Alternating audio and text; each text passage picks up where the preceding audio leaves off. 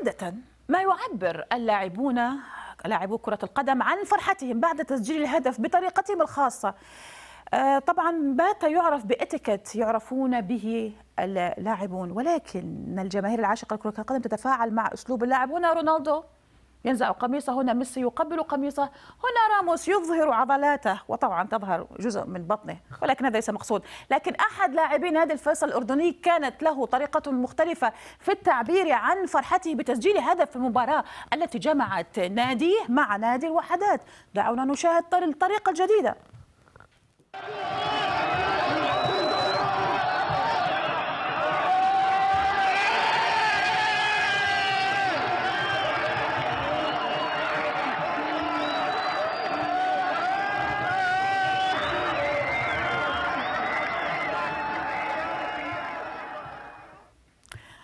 الصورة غير واضحة ولكن دعونا نقرب الصورة. لكم لهذا اللاعب.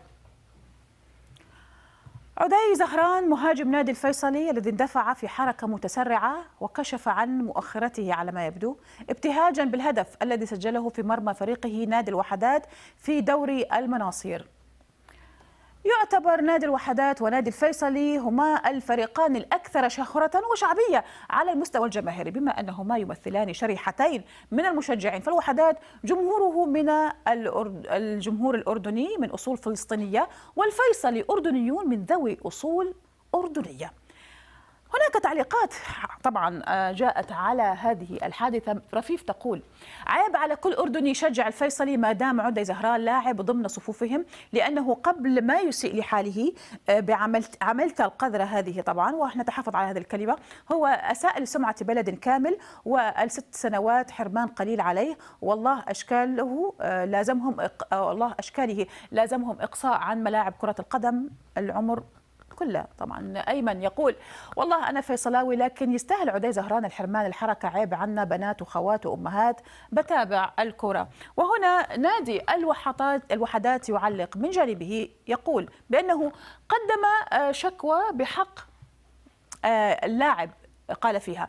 إنه خلع سرواله وقام بإيحاء جنسي يقصد به نادي الوحدات وجماهيره وهذا اللاعب بفعلته هذه ضرب عرض الحائط بكافة مكارم الأخلاق وقيم الرياضة وفعله ذلك يمثل إساءة جسيمة للكرة الأردنية وسمعتها الأخلاقية التي لم يسبق أن سجلت بحقها أي حادثة. لذا قررت اللجنة التأديبية للاتحاد الأردني لكرة القدم تقول بأنها قررت معاقبة لاعب نادي الفيصلي عدي زهران بعد قيامه بعمل حركة غير أخلاقية بعد نهاية المباراة.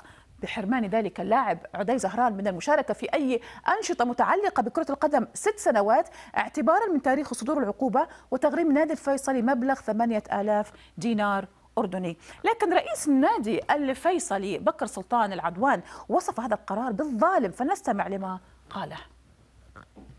راجعنا بقرارات اللجنة التأديبية المنبثقة للاتحاد آه، ومدى ظلمها وتناقضها في قرارات سابقة أخذت بحق أندية أخرى.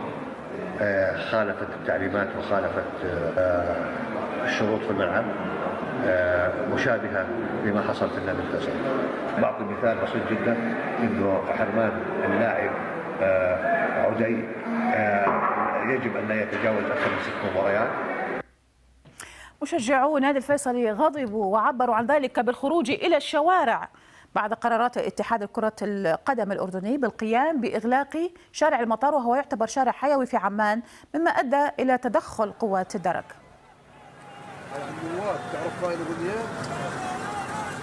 شو مش نروح. لا سامي شو يغني مش راح يدفع عليهم الفريق راح يموت هسه.